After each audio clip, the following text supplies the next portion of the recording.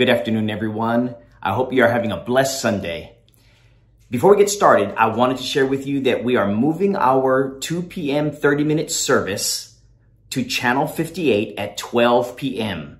Okay? That'll be the beginning of October, the first Sunday of October. I hope to see you there. Have a great service. Let us pray. Father, we humbly approach that throne of grace and mercy. We are thankful for this day when we can come together and worship you and build one another up. Thank you for the design of a local group of believers who can collectively sing songs, study your word, and petition thee through the avenue of prayer.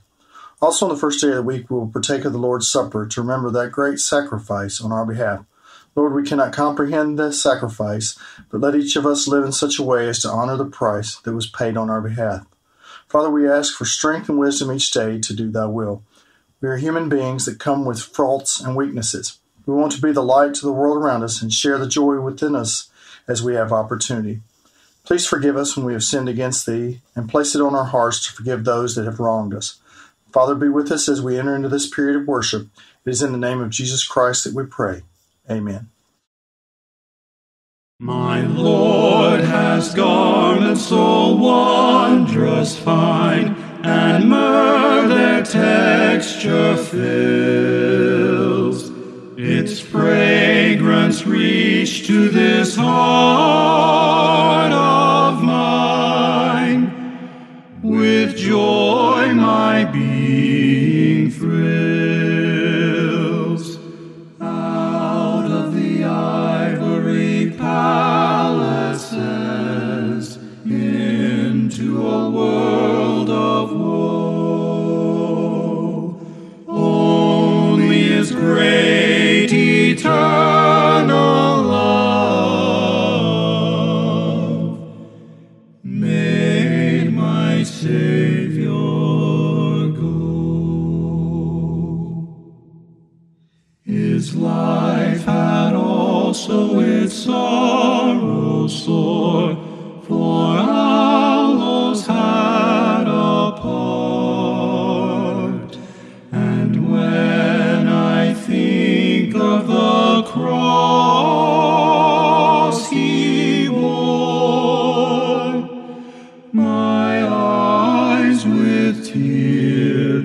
Teardrops start.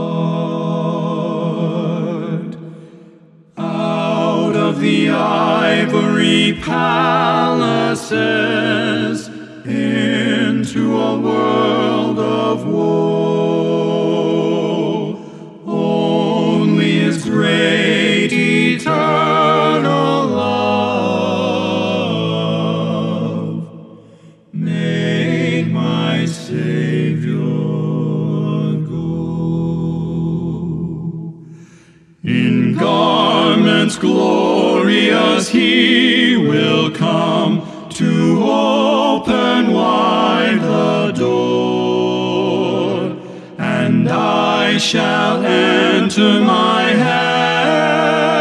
heavenly home to dwell forevermore.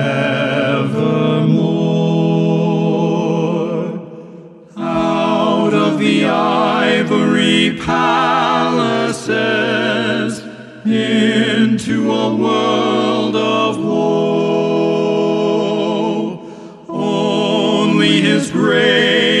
eternal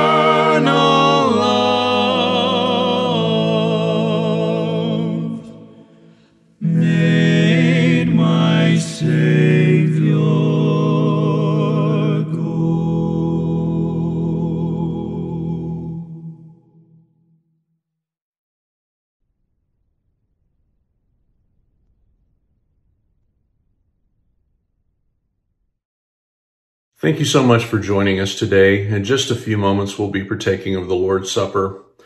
You know, in several places in the Bible, the account is given of that final time that Jesus had with his disciples in the upper room.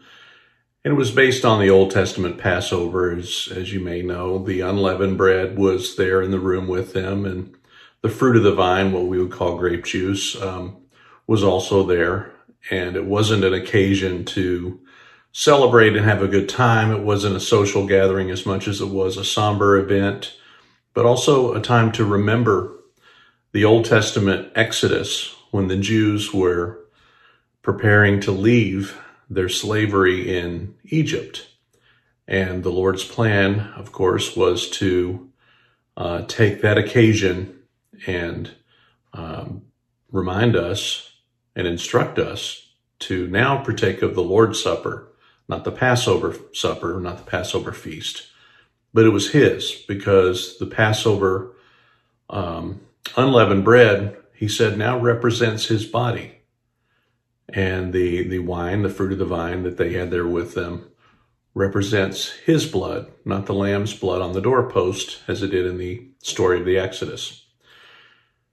So, as we recall, we remember the Lord's Supper, as we call it.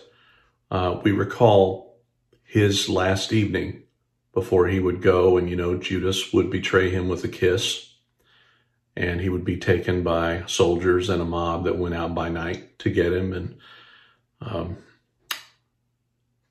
give him a, a mock trial, essentially, and put him before Pontius Pilate and then he was to be sentenced to death by crucifixion. So as we partake of this, we not only remember his terrible death and his betrayal by a friend, but we also remember looking forward that it's that blood that saves us. It's that blood that takes away our sins. It wasn't his guilt, but it was our guilt. So at this time, we want to remember the body and the blood as we partake of these emblems. Let's give thanks for the bread. Our Father in heaven, we thank you so much that we have this feast to celebrate. And it's not that it's a, a great meal, but it is a time to remember the body of your Son suspended on that cross. And he was faithful until death on that cross. Please bless us all as we remember your Son at this time. In Jesus' name, amen.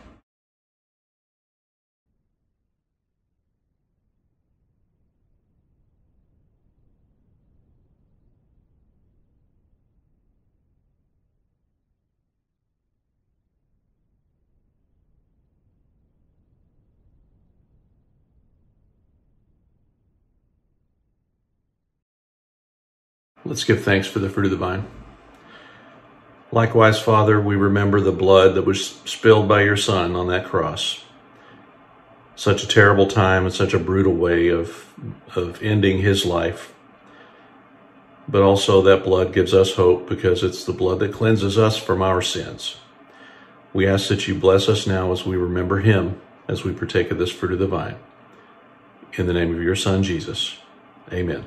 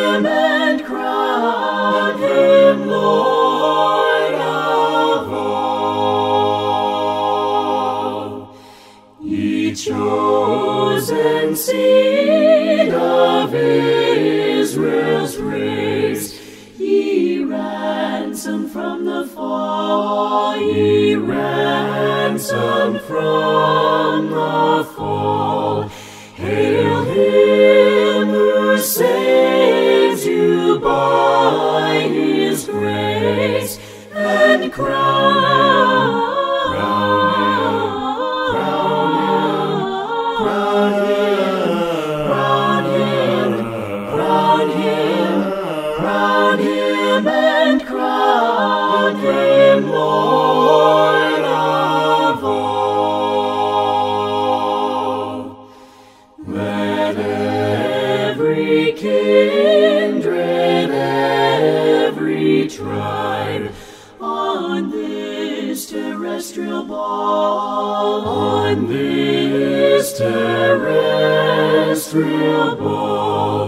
to him all majesty ascribe and crown, crown crown him, crown him, crown him,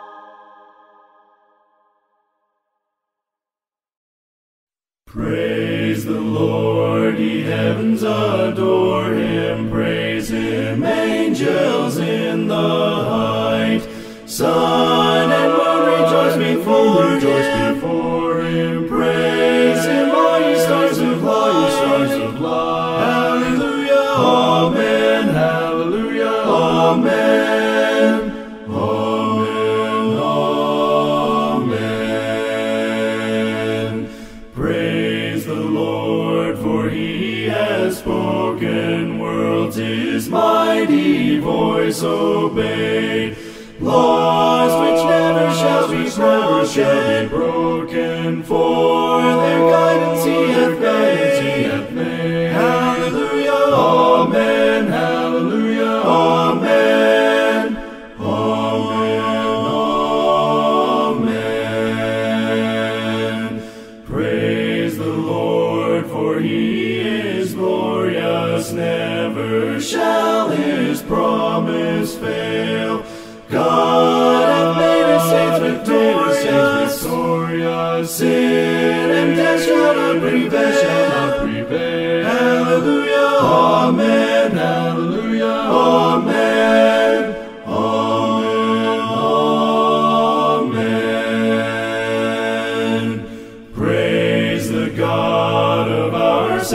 salvation. Rose on high his power proclaim.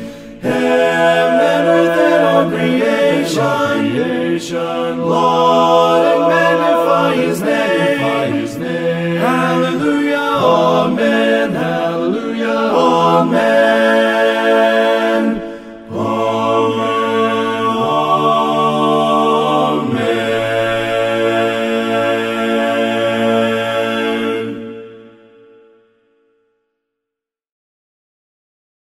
Luke chapter 8, verses 8 through 10, from the New King James Version.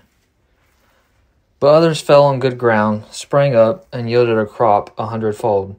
When he had said these things, he cried, He who has ears to hear, let him hear. Then his disciples asked him, saying, What does this parable mean? And he said, To you it has been given to know the mysteries of the kingdom of God, but to the rest it is given in parables, that seeing they may not see, and hearing they may not understand. Hi, my name is Zachary Ford, and I'm coming to you from the Franklin Church of Christ here in Franklin, Tennessee. Family, I'm glad that I could be back with you. Uh, I had COVID. I'm so glad that I could be out of the house. Family, if I was you, I would put the mask back on, you know, just stay safe if you can. Hey, do what you got to do. Um, but thank you for your prayers. Continue to keep my family in your prayers. Um, let us continue to strive forward, uh, dealing with God's word, uh, suffering for the cause of Christ, and making sure that people know that life is fragile. It's out of your control for a lot of things. And so the closer we are to God, the better. Now, family, as we get into God's word today, and I appreciate the brother that read scripture, we have to understand some things. As we've been studying some of the things about the afterlife, we're looking to study more things about our families and how we can live more Christian lives in our homes and have our homes uh, more in line with Christ and God's will. What we need to make sure that we are paying attention to is this concept of listening. You know, listening has some responsibility to it. And there's some passages in the Bible that are pretty familiar. I know my grandmother used to tell me about some, you know, preachers that say it a lot, but he who has ears, let him hear. All right. If you turn to Luke chapter 8, that's where I want to come to, but you've probably heard it in Matthew. Uh, some of the things that I also want to make sure that we understand as we study this is that I'd love to get into the parable. Oh, I'm a parable type of brother, but uh, I don't want to spend much time on the parable today because it's this latter part of the scripture that I'm wanting to focus on. What you'll notice in this passage is that in Luke, you'll see that there are many a person who has come to follow Christ. Uh, and Luke actually points to a few women that are coming to follow Christ. We see Mary. Um, she had been delivered from these uh, demons that were inside of her. She had been healed by Christ. All right. Uh, we see uh, Joanna, Chuza's wife. She had been um, kind of in a high standard um, to be Herod's steward's wife you have to have some type of status in the world, and especially in that period of the time. So for her to follow Christ and to give of her means, uh, to change her comfortability, to change her daily schedule, um, you know, that's that's a lot. There's something motivating that type of passion. Paul, he writes about different things. Luke had been through different things. Barnes, all these different people that are doing things for God, for the cause of Christ, uh, there's something that's motivating them. I don't want us to think that we're just doing our job by being believers because we have to consistently have something that motivates us. Some people have a, title. Some people have a certain church. Some people have uh, a certain place that they go or a certain talent that they have. I appreciate all of those. But what I want to make sure that we understand is that the scriptures point to the fact that everybody in Christ has a responsibility. And that responsibility is to make sure that we are constantly seeking the truth, constantly seeking his word, not only to be inside of us, but to be understood by us. Family, let me show you something. Luke chapter 8, and come down with me where it says in verse 8, and some fell into good soil and grew and yielded a hundredfold. As he said these things, he called out, He who has ears, let him hear. And when his disciples asked him what this parable meant, he said, To you it has been given to know the secrets of the kingdom of God, but for others they are in parables, so that seeing they may not see, and hearing they may not understand. Now the parable is this the seed is the word of God. Family, we have to understand that the parable goes to those who believe, and the parable goes to those who do not believe. For those who do believe, you have to make sure that as we study God's word, as we try our best to live the Christian life inside this world that we live in, guess what? We have to consistently seek God's word. And we have to not only seek it, but we have to do our best to seek how to apply it as well. You see, we can be great students of the gospel. We can study it, but we also have to make sure that we know how to properly proclaim it, properly, uh, properly advocate for it, properly apply it in our own lives so that we may show others that it is easy or it is doable at bare minimum.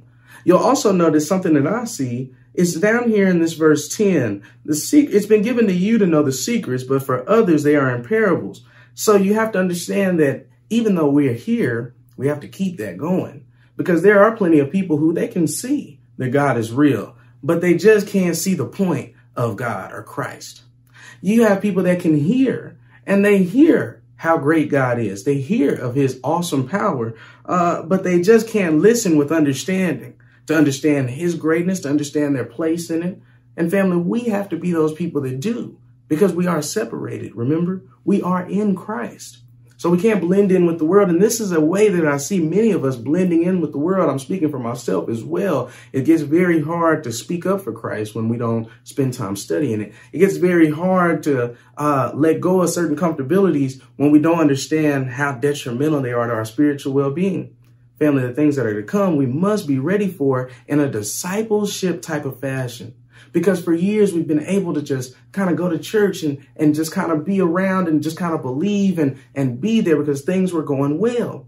But when things start to change and it's out of your control that they change, you still have to keep on living because God gives you breath, but you have to live with more of a purpose. You have to live more intentionally. You have to make sure that you kind of dot your I's and cross your T's a little bit more Not just in uh, keeping away from sin, but staying on your toes from this great delusion that is coming. Staying on your toes from some of the things that will take us away from actually being focused on the true path of Christ. What I want to show you is some things right here the hard heart, the shallow heart, the thorny heart, the good heart. All those hearts that you read about right here in Luke 8, they can be in the church and out of the church. Believers and non believers can suffer from these hearts. So we have to make sure that we're striving, no matter where we are in those, for the good heart. If we're striving for the good heart and we start to understand that the secret is the different aspects of the arrival of God's kingdom, guess what? When you look out into the world, some of the top shows in the world, some of the top music in the world, some of the top places to be, some of the top positions to hold, some of the lowest places to be, some of the uh, uh, most vile places to be, all these different places from the highest to the lowest here on this earth, they are not moving in the way that we read about in scripture as to be moving in the will of the Father. We can get caught up and swept up in either side of that. And we have to make sure that we are pulling our brothers and sisters from either side of it, straightening ourselves up, keeping from falling victim to either side of it, and walking in that one narrow path that is to the heavenly kingdom. Family, something that I also want to say uh, or say is that uh, there's a distinct difference between hearers and doers. Now, family, don't get this uh, misunderstood. I'm not saying spend more time doing just to be doing, but the discipleship aspect versus the simply believing aspect. You know, demons know that God is real. There are plenty of people who believe in the power of God, but they may say that there's somebody else or they may claim to believe something else because they just don't want to give over if I believe enough or if I believe in anything, I should give myself to it. So many of us may blindly believe, not recognizing how much we're supposed to actually give into God, not actually recognizing how much we're supposed to give over to the kingdom. The sacrifice is very real. I'm learning it myself. So when we study God's word and we understand the distinct difference in the discipleship aspect from just hearing or just believing and, and not really thinking about continuing and to strengthen that belief, what you'll find is that the redeemed are his redeemed. And so we must strap up like the redeemed. We must take arms against evil. We must take study against evil. Because the more that we sharpen our hearts and our minds to the will of the Father, the easier it'll be to fight for the Father. He continues to fight for us. He continues to give us resources, time, and opportunity to fight for Him. And we must do that in ourselves, in our families, in our world. Okay? Let me talk to you about something else as well. Discipleship is not simply for the individual benefit, all right?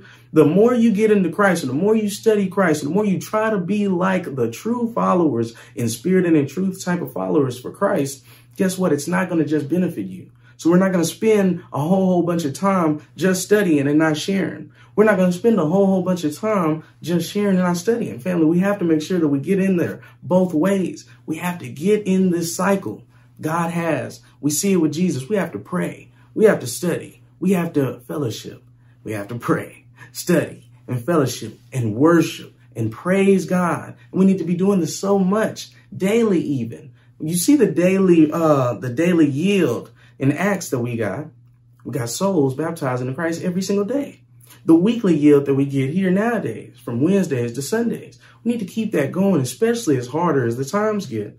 I want you to understand that this uh, radical change that all these people had went through in Luke 8 to follow Jesus to this regard, the radical change that the 12 went through, the radical change that Paul went through, and all the believers uh, or the followers of, uh, not of Paul, the followers of Christ, but Paul was leading them. These people gave a lot. And so we need to make sure that we understand what the cost truly is, okay? Believers can be like any of the soils, but notice there's this last verse that I want to read in verse 11. It goes like this, chapter 8, not verse 11, verse 15. I'm sorry. It says, As for that in the good soil, that is who we're trying to trying our best to be, right? They are those who hearing the word hold it fast in an honest and good heart and bear fruit with patience. Family, trust and believe, okay?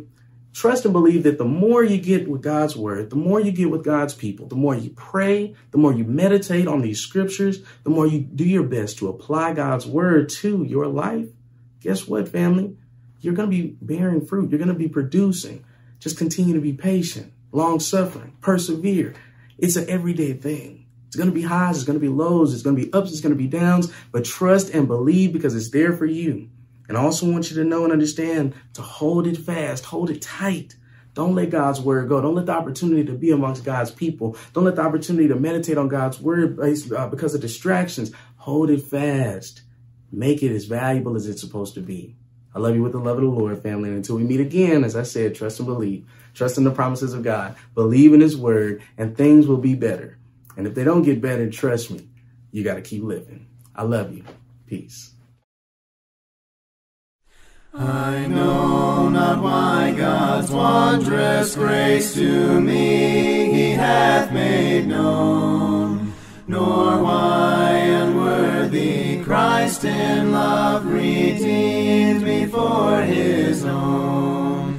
But I know whom I have believed and am persuaded that he is able to keep that which I've committed unto him against that day. I know not what of good or ill may be reserved for me, of weary ways or golden days before his face I see. But I know whom I have believed and am persuaded that he is able to keep that which I've committed unto him against that day. I know not when my Lord may come at night or noonday fair, nor the veil with him or meet him in the air. But I know whom I have believed and am persuaded that he is able to keep that which I've committed unto him against that day. As we close our service today, let's go to our Heavenly Father in prayer. Our Heavenly Father, we are grateful we have had this time to honor and glorify your holy name. We pray our worship today will strengthen us to draw close to you and your word. We pray for strength to maintain our focus on you and the hope for an eternal home. We pray for the sick, the lonely, and the downtrodden. Finally, we pray for opportunities to demonstrate the love to our fellow man as Christ would. In Christ's name, amen.